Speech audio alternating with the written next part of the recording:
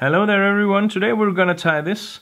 This is a quite famous uh, Scandinavian pattern. I don't know if it originates in Norway or Sweden, but it has really really been uh, been a pattern that has been a lot of talk about uh, in these past uh, past years.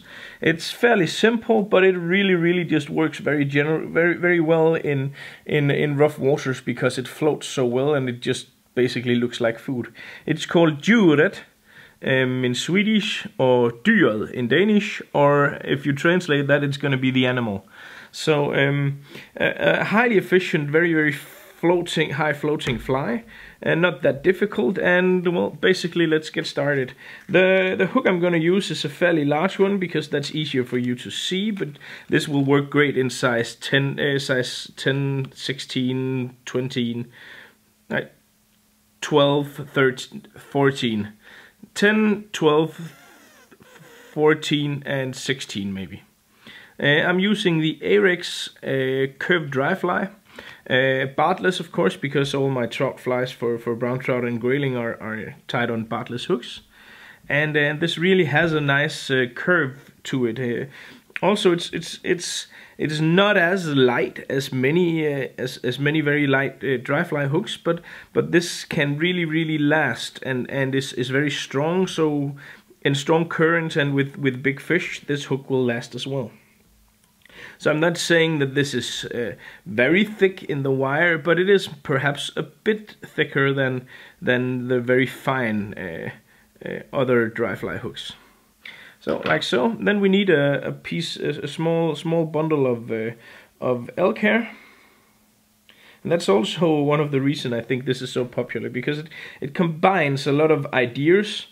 Um, so it's it's it kind of have some of the the basic things that elk hair caddies have, and it, it also has some of the uh, the the basic things from from the super pupae, the super pupae which is another great fly. So I take the, the deer hair and then I brush it with my comb here to get all that uh, woolly stuff out. Um, and it's it's important to prepare your deer hair like this if you want it to be uh, to be easy to use. Then I take my CF Design uh, uh, um, my CF Design uh, hair stacker like so it's the CF Design hair stacker has some rubber in the bottom so it, it does not sound too loud when you're stacking your hairs. That's something I find uh, and, and the people around you will find uh, attractive.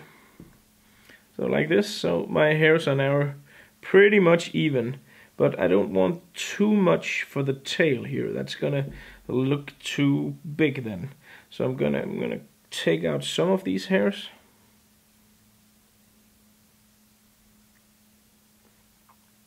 So I have a fairly small bundle here. And then I'm going to tie this on top of the hook using a couple of loose turns before then I apply some major pressure.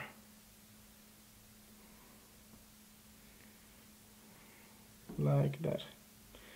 I'm going to hold everything down and then I'm going to carefully turn all the hairs up keep them on the on the top side of the hook here and then move up along the hook shank up to the front.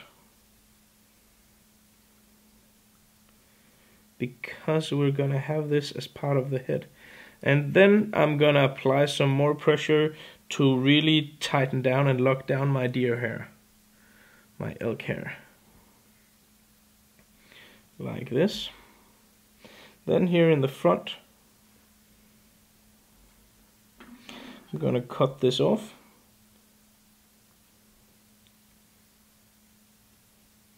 So that I kind of get a, a, a bundle sticking out here in front that's going to be, well, it's going to be the head. This is how the fly is designed.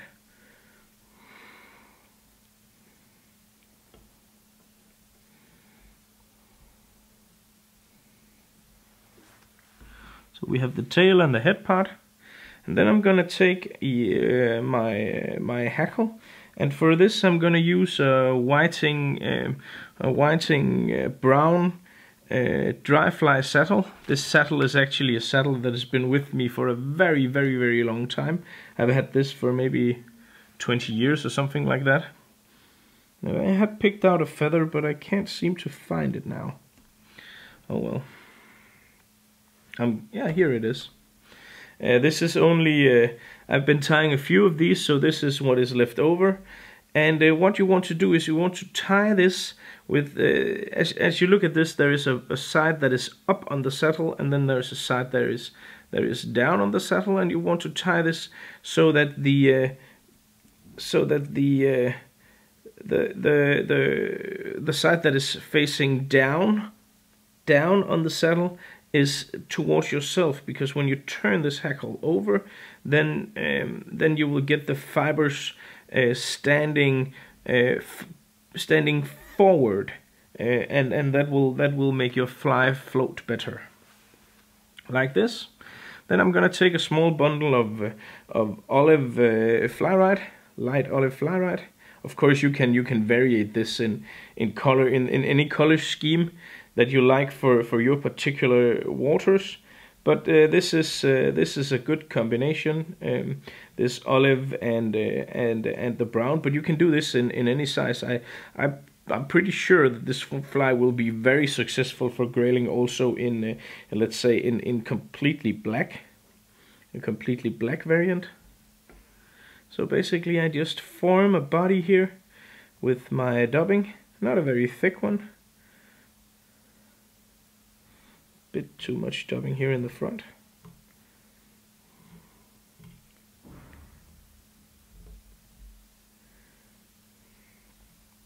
This Fly-Rite really is easy to work with and and just has high floatability and, and this, it's a cheap material. There's pretty much dubbing in the in the package. So uh, on all counts, Fly-Rite is just really really a value for money for money project definitely uh, uh, dubbing definitely.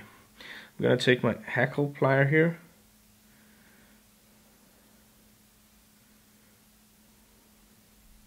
Then I'm gonna turn the feather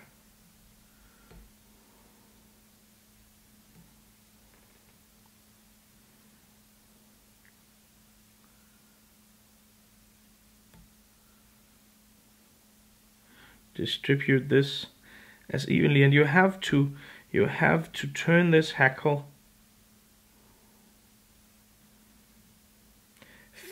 fairly have fairly many turns of the hackle in order to give this fly um, as much hackle as possible to make this float even even better than it already does.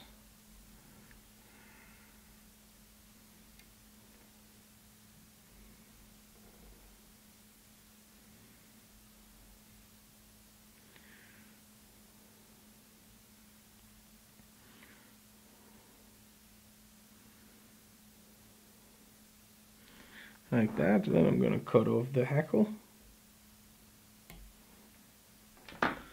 Like so. I'm going to take my whip finish because this is going to be a bit too difficult to make a whip finish here. The head without getting any of the deer hair and the hackle stuck if I just do a whip finish with my hands apply some pressure just pulling around the uh, deer hair to make sure that it stays in place. And well, there you have it. The animal or a dyret. Really, really an awesome, awesome uh, not exactly an imitation, but what this fly can is it really just it just looks like food, and that is why the graylings and then the trouts will will grab it. It can look like any kind of emerger or or any kind of you know basic insect insect that is just stuck in the surface. So it's a really really good general pattern for for searching for fish and also even fishing um, fishing blindly because this basically it looks it has the it has the characteristics of uh, of something that is edible lying in the surface uh, for the trouts. So um, so a good dry fly pattern, fairly easy, not that many materials, um, and uh, and as I said, it, it's not that important if you use a brown hackle or you use a, uh, a, a dun hackle or a dark dun hackle or something. It's just the composition and the way this is built. It's main, meant to to you know be able to to be fishable all throughout the day uh, because of the materials here that has so many um, so so great uh, floatability and um, and uh, and the materials and the composition simply ensures that you have a fly look that looks well that really just looks like food and can catch a lot of fish uh, throughout the day so thank you for for watching um, uh, remember to subscribe to the channel if you haven't done so already, and, and visit my uh, shop uh, uh, for for for a complete material kit for for this exact fly. Thank you so much for watching. Uh, good luck on the waters.